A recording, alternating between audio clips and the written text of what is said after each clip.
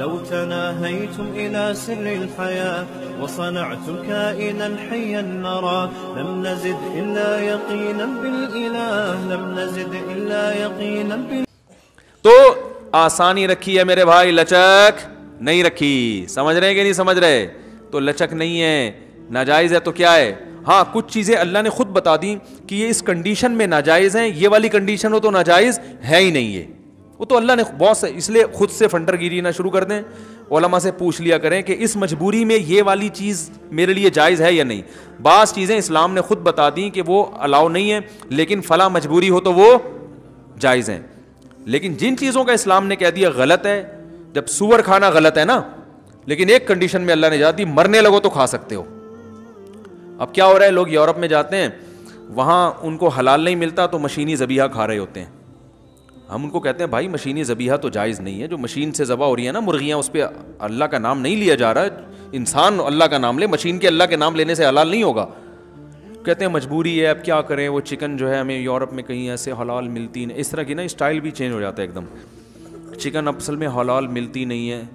तो भाई, चिकन खाना मजबूरी है ही नहीं इस्लाम में। इसको अल्लाह ने मजबूरी, आपकी अपनी मजबूरियाँ तो फिर तो मेरे भाई, पिज़्ज़ा खाना भी बहुत से लोगों की मजबूरी है।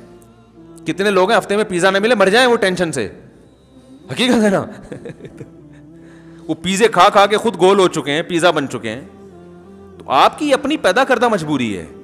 अल्लाह ताला ने क्या कहा है? मजबूरी की जो डिफाइन किया अल्लाह ने, फमन फ़ी मखमसतिन, कि जो भूख से इतना मजबूर हो जाए, मौत का खतरा हो जाए ना उसको इस्तरार इस्तरारी कैफियत, नाकाबले बर्दाश्त हो जाए फिर वो मुर्दार खा सकता है। और वो भी अल्लाह ने फरमाया, गैरा मुतजान फिलस्मिन गुनाह की नीयत ना हो।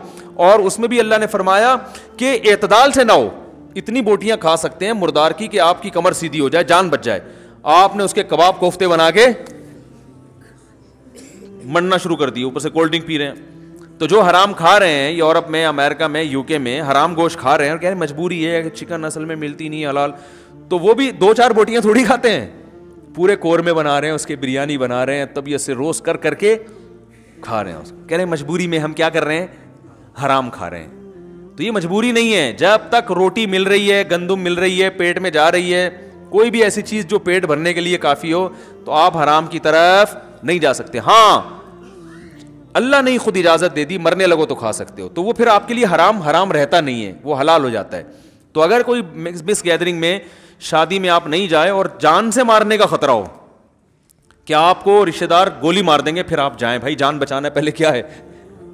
या जान से मारने का खतरा तो ना हो, हाथ पाँव तोड़ देंगे आपके।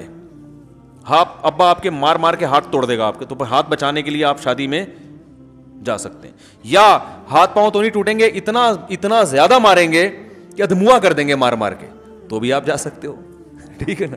ऐसी अगर कोई कंडीशन नहीं है तो फिर ये जो है ना कि एक्चुअली वो नाराज़ हो जाएगा, फलाना तो इस नाराजी को शरीयत ने मजबूरी नहीं समझा। इसमें जो नाराज़ हो रहा है, वो गलत कर रहा है। कता रहमी का, रिश्तेदारी तोड़ने का गुना उसको होगा, जो अपनी महफिल में गुनाह करके आपको नाराज़ कर रहा है। समझ रहे हैं कि नहीं समझ हवा हिर्स वाला दिल बदल दे, मेरा गफलत में डूबा दिल बदल दे।